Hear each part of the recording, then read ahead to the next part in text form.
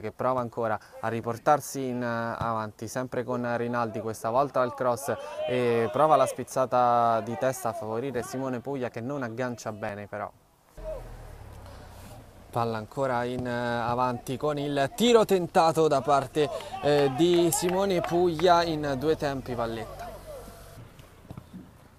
Palla ancora in avanti, eccolo Puglia in zona tiro, salvataggio prodigioso, poi ancora Puglia, palo sfortunatissimo.